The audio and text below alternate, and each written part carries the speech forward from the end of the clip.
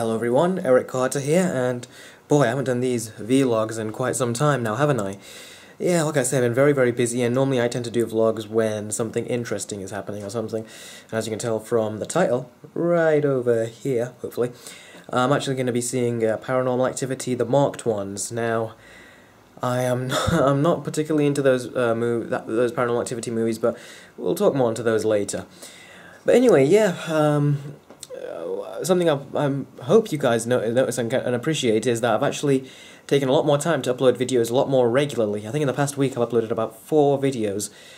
So, yeah, apart from this vlog, I'm going to upload another one soon. And I'm trying to get them uploaded much faster, because normally I tend to get a phone, then about two weeks later, or within two weeks I'll do one or maybe two coverage videos, and then uh, later on you'll actually start noticing the uh, videos start coming start to come around around about the time I do the review of the handset, which is about two weeks later. That's about how long I have to keep these review units, and then I tend to upload the videos. Now I think I'm leaving a bit too late, even though that's how I get my form my full opinion on these smartphones. I think I do leave them a bit too late, the videos I actually give them to you guys, so I'm going to start doing them earlier. So the iPhone 5S, I've given you a couple of videos already, and I'm going to, when the weather gets better, I'm going to start uh, doing some HD video capture tests and some outdoor and indoor uh, uh, camera shot tests. And so far I am quite impressed with the iPhone 5S, even though I think Apple could have done much more because it does seem like it's a very, very incremental upgrades. That's why I always call the iPhone S phones the iPhone filler, because they are essentially just filler until the iPhone 6 and 7 or, you know, the next full number upgrade comes out.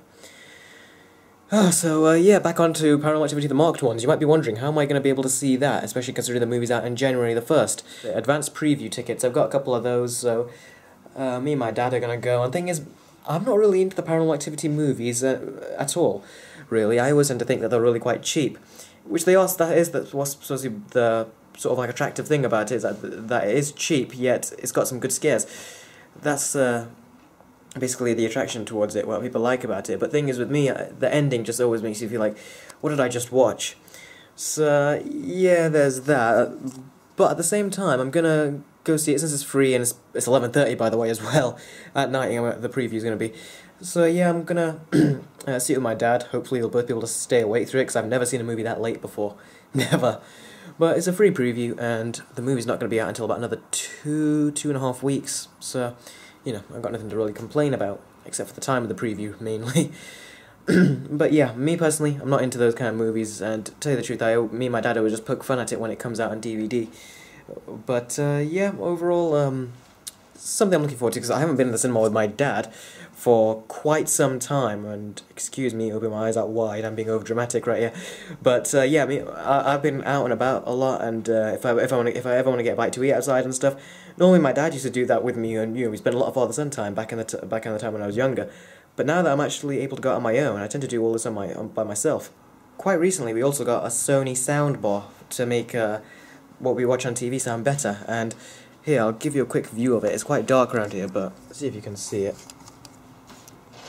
right over here. You see it's quite dark, but it's behind our TV. You see I'm pointing at it.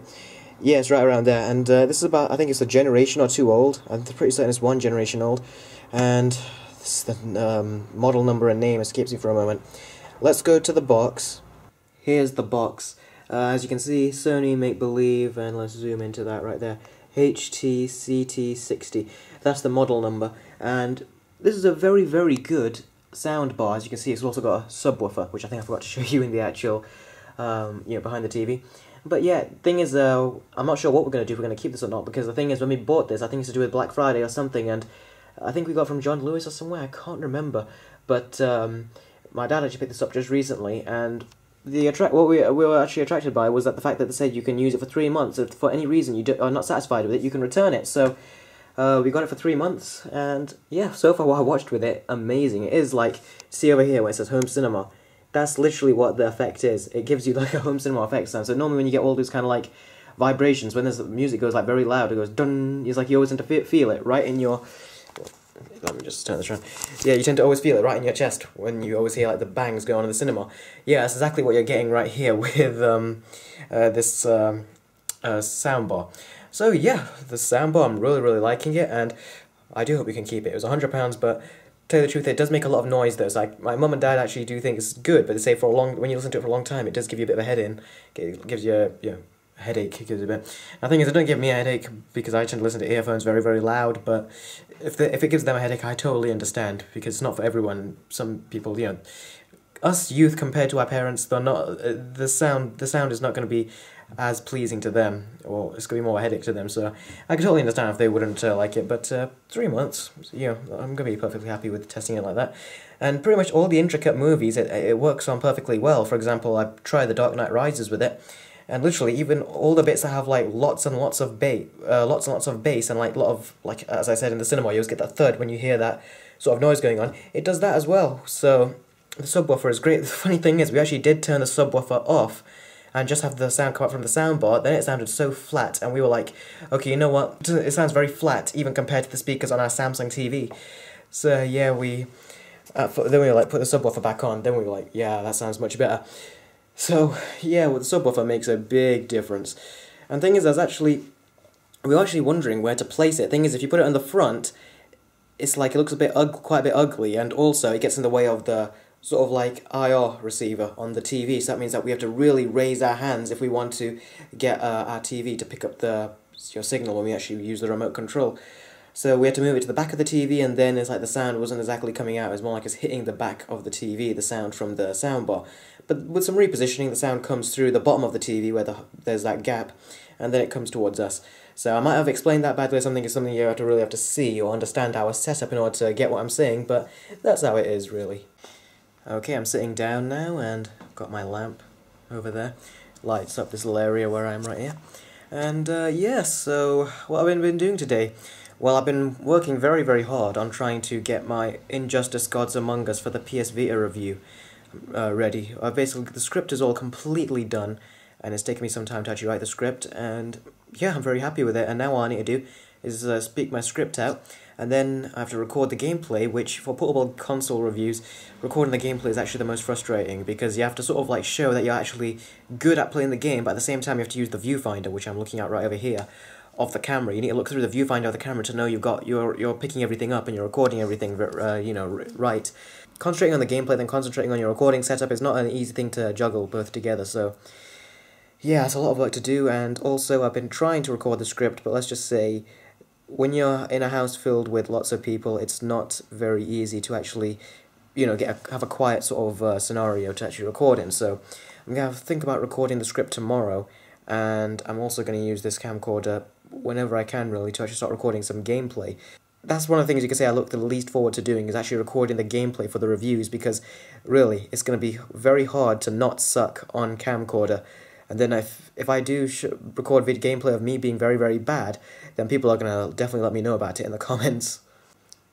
So I'm gonna sort of sign off right now, and what I'm gonna actually do is I'm gonna watch Paranormal Activity, the marked ones, uh, in a few hours, and th then what I'm gonna have to actually do is uh, come back and let you guys know briefly what I thought of the movie, as I think I'm one of the first few to actually go see it, and if I come back and say that I have not seen the movie, that's because it's too late and me and my dad are both tired. So, yeah. Thing is, the movie is also about an hour and 20 minutes. To tell you the truth, I think I'd feel ripped off if I actually went and actually paid to see that movie. And also, I think I've heard they're going to do another one next year as well, Paranormal Activity 5. So, there's a spin off and then there's the actual sequel. Uh, so, definitely they're trying to milk as much money as they can from these series of movies. But anyway, I'll see you a little later and I'll let you know if I see the movie or not. Okay, so it's about 10.50 at night, and I didn't go to see Paranormal Activity, the marked ones. Uh, um, uh, my dad's been very busy, and he's been driving around quite a lot today, and he's uh, very, very tired. And me, I'm not too tired, but then again, I did sleep in a bit today because I, I had a long day of work yesterday. And yeah, I got a lot of work done today, but I'm going to be doing more of a relaxing time at this point. I've just read my little brother about half an hour to an hour ago. I read him uh, a chapter to Harry Potter and the Prisoner of Azkaban. I've read those books like long time ago. I started when I was nine, and I finished them all off well before the final movies came out. I think it was when the fifth movie came out. I was finished reading the, finished reading the seventh book. I love those a lot, but my little brother he was born when I think the fourth when the third movie came out around that point, and yeah, by the time he was uh, old enough to actually see them, the last ones came out, so he's starting to slowly see them now. I think he just finished watching the fourth movie today. So, uh, yeah, I read my chapter of that, and what I'm going to do now is, if I can put this up, continue reading this. The Hunger Games. Second movie was so good that um, I just wanted to see what happened next. I couldn't wait. Although Hollywood are doing two parts out of the third movie, which roll us music again, or sound effect, whatever you want to call it. But uh, yeah, um, uh, the book is okay so far, from what I'm just gonna say. But anyway, yeah, I'm actually gonna stop this vlog right now. Call it uh, at the end of the day, pretty much. I'm just gonna read some of that book, then go to bed. So, thank you guys so much for watching this vlog, and let me know what you think of it. If you want me to upload these more regularly, let me know, and I'll definitely try and do so. So, thanks again very much for watching, guys, and I'll see all of you next time. Take care.